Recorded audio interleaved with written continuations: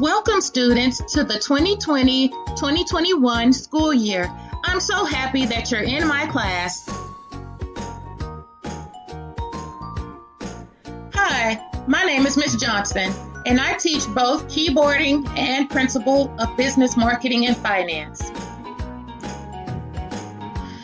Today, we will be talking about daily live sessions, office hours, attendance, and virtual etiquette.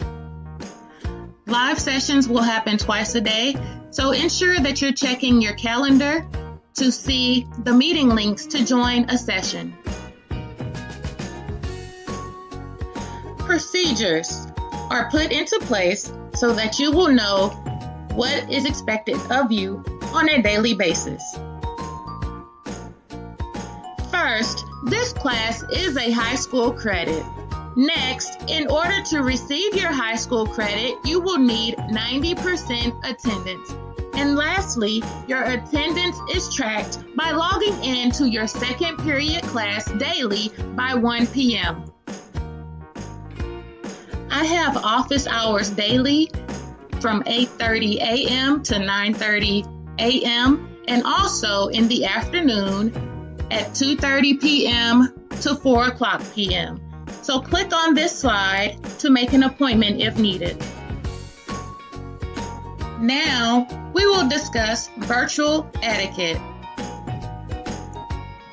While you are logged on virtually, some things that you should do is find a quiet place to work. You're going to also listen for expectations. You're going to use chat for questions. You're going to wait your turn. And also, you will mute when not talking. While you are logged on virtually, do not eat or drink when near the computer. Do not post comments, not school related, and do not interrupt others while they are talking. See you soon! I hope you enjoyed this presentation and have a wonderful school year.